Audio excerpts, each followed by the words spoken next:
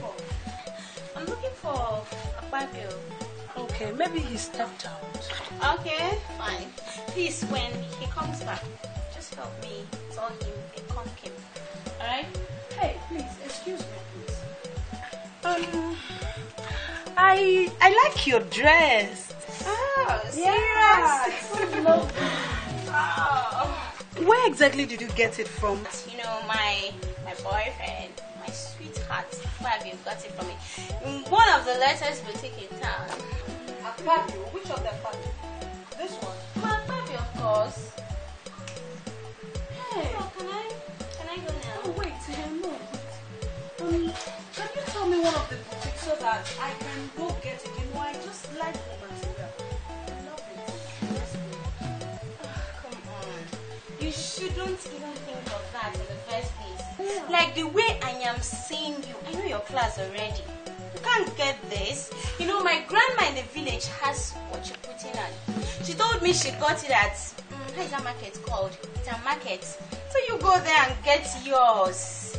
Hey, Madam Boutique, this dress is mine. So Akpabio had the talking about? Are you trying to embarrass me or something?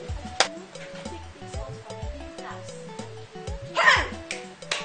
Babe, this dress is mine. Akpabio stole it in my coma. This dress has been lost for the past three days. Excuse me, shut the fuck up. What do you mean? Ah, she shut up. Okay. I just told You that my Akpabio got this dress for me. It was a surprise actually. Akpabio, hey, hey, hey, hey.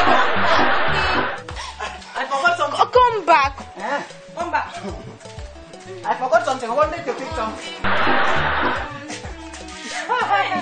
Thank you. I miss you too. Sweetie, Yes. can you imagine?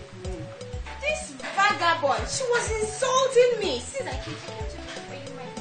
When she, she started embarrassing me that this dress you surprised me with is hers. Can you imagine that? Akpabio. Hmm.